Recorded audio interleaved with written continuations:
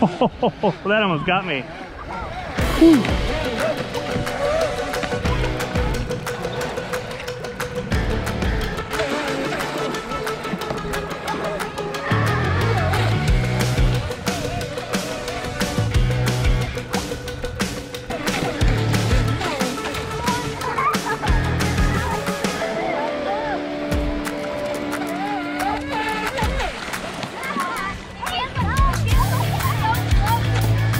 Shift, shift, shift, shift.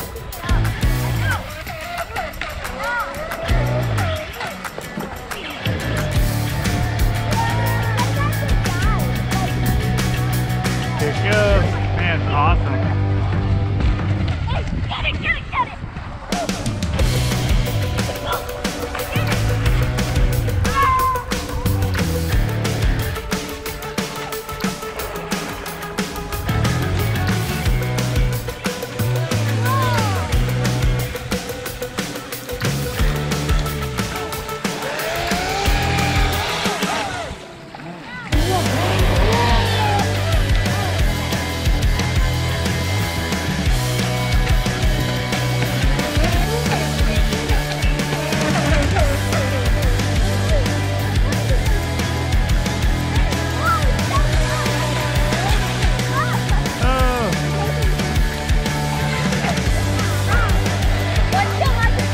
That's the auto righting. It it fills up with water and then gets weighted down.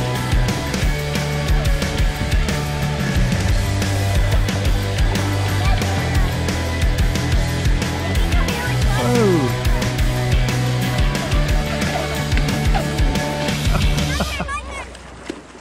They like flipping it.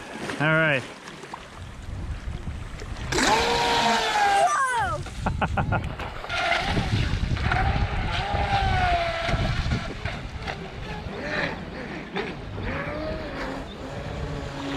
Yeah, that's LiPo cutoff. Yeah, so there you have it, the Atomic Barbed Wire XL2. You've been waiting for this to come out for a couple years now. Finally out.